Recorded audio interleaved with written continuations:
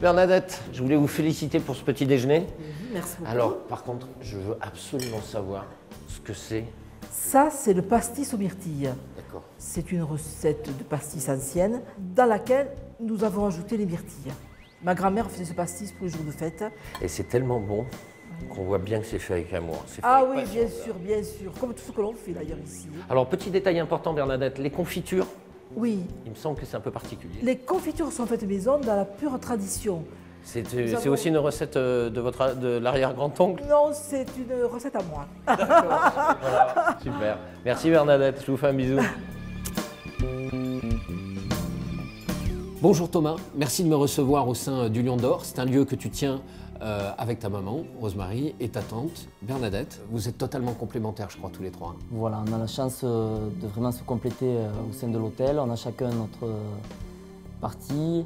Ma mère va plutôt s'occuper de la décoration et, et des chambres. Un long chemin de croix d'ailleurs, je crois. hein. Tout à fait, tout à fait. L'hôtel a, a beaucoup été modifié au, au fil des ans. Voilà, donc ma tante, elle va s'occuper plutôt de la gestion de, de l'hôtel et de la partie cuisine. Et moi, de l'accueil euh, des clients, du service. Vous allez bientôt fêter le centenaire de votre prise en main de l'établissement euh, au niveau familial. Voilà, c'est ça. C'est votre arrière-grand-oncle L'oncle de mon grand-père a acheté cet établissement en 1913.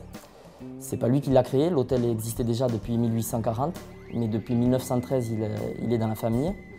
Et mon grand-père, lui, était déjà cuisinier de métier. C'est lui après qui a repris le flambeau euh, de son oncle en 1948 avec ma grand-mère.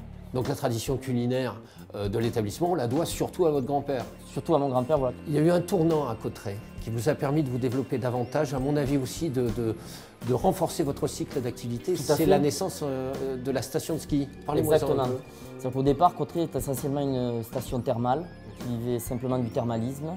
Et l'hiver, le village euh, s'éteignait et l'hôtel était fermé, mes grands-parents fermaient l'hôtel. Et puis en 1964, il y a eu la naissance euh, au Cirque du Lys d'une station de ski alpin.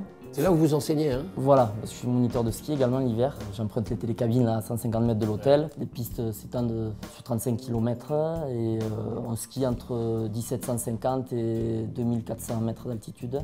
avec un taux d'enneigement un peu supérieur Voilà. à, la, à la moyenne, je crois. hein. C'est ça, c'est euh, c'est une petite station familiale, mais euh, dans les Pyrénées, elle est réputée comme étant celle euh, ayant la meilleure qualité de neige. Régulièrement, enfin, chaque année, Cotteret ouvre le plus tôt et ferme le plus tard. Cette année, par exemple, euh, les pistes euh, ont ouvert le 27 novembre et la fermeture est prévue pour le 25 avril. Thomas, on parle de patrimoine, mais on parle aussi de succession. Tu le vois comment l'avenir euh, du Lion d'Or?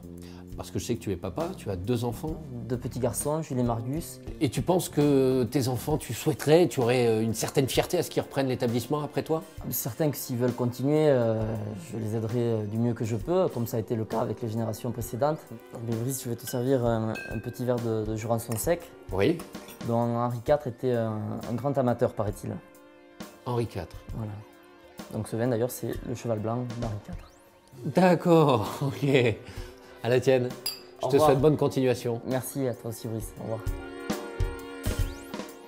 Rosemary, on tenait à vous féliciter pour la, pour la qualité de la décoration. Parce que c'est vous, Madame Décoration, ici. Oui, en quelque sorte, oui, euh, parce que c'est c'est- pour moi, c'est une passion. J'ai cru comprendre qu'en réhabilitant cet hôtel, vous avez retrouvé plein d'objets. Plein d'objets qui étaient au grenier et qu'on a voulu mettre en valeur. Notamment cette luge. Oui, alors cette luge, c'est la luge de mon grand-père. Vous avez réussi un pari qui me semble, qui semblait à tout le monde quasiment impossible, à savoir créer un ascenseur au sein de l'hôtel. On est arrivé, bon, avec euh, beaucoup de patience.